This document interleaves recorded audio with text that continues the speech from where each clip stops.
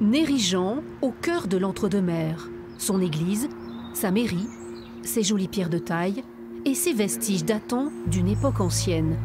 Des carrières qui font de ce village une zone à risque. Fragile, le sol menace à tout moment de s'effondrer.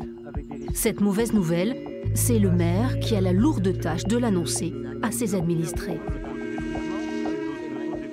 Votre maison, Monsieur Duvernay, ou votre maison, Madame euh, Vert, se trouve sur cette zone et le règlement qui va avec vous oblige à effectuer des contrôles tous les deux ans à votre charge. Montant de la facture entre 2 000 à 5 000 euros tous les deux ans pour chaque propriétaire. Nous avons, euh, Madame Vert et moi-même, euh, un permis de construire qui a été délivré par la DDE. Exact.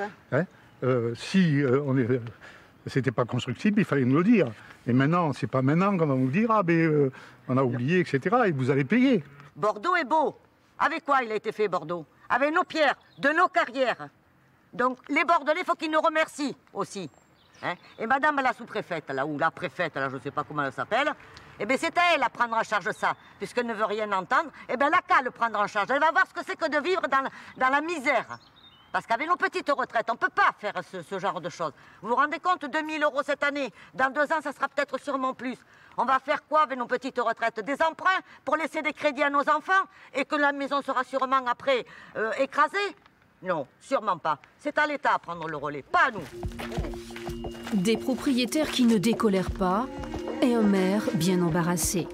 Car le préjudice peut être dramatique pour ses habitants qui voient leur maison perdre de leur valeur. En Gironde, 123 communes seraient concernées par ce risque. Le propre d'une carrière, c'est qu'à un moment donné, elle s'effondre. Mais ce qu'il y a, c'est les temporalités que l'on ne connaît pas. Ça peut être immédiat, comme ça peut être dans mille ans. Et donc, par conséquent, le fait d'aller les visiter va nous permettre d'évaluer la, la vérité euh, de la situation et ensuite euh, d'agir. Mais il ne faut pas que l'on transfère la responsabilité vers des pauvres gens qui n'y sont pour rien, hein, qui ne savent pas ce qui leur tombe sur la tête. Euh, Tout d'un coup, on, euh, non, non, c'est cette situation-là que les maires des communes rurales euh, combattent.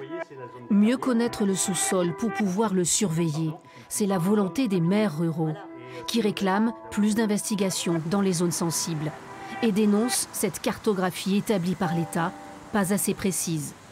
Un plan particulier de prévention du risque du mouvement de terrain, signé et approuvé le 10 août dernier, ce document devrait permettre de clarifier la situation.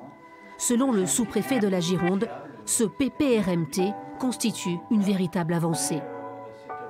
Le document n'est pas euh, figé, n'est pas euh, euh, gravé dans le marbre. Il, est, il fera l'objet de modifications, mais n'est pas n'importe comment, sous certaines conditions. C'est-à-dire qu'à partir du moment où nous aurons une étude scientifique euh, fiable, euh, euh, faite par un bureau agréé, et qui démontrera que finalement le risque a été optimisé, était peut-être un peu trop maximaliste, et qu'on pourrait, sur la base, encore une fois, d'une étude scientifique, réduire ce zonage, eh bien pourquoi pas?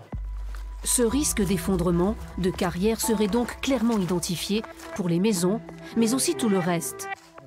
Le maire de Nérigeant nous conduit dans l'une des dix carrières qui ont été recensées sur sa commune.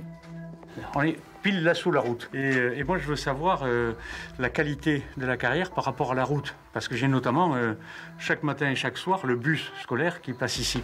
Donc, euh, je veux être sécurisé dans ce sens.